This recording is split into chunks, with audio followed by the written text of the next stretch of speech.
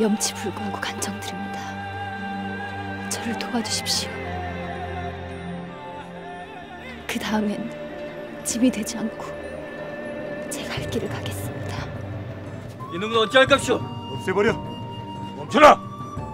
함경도 일대에서 악명 높던 화적대의 두령이 그런 놈과 거래를 하다 변과로 당하면 어쩔 셈이더니 위험을 감수하더라도 반드시 거래를 성사시키겠습니다.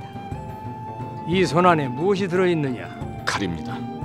사람을 살리는 칼이냐, 죽이는 칼이냐?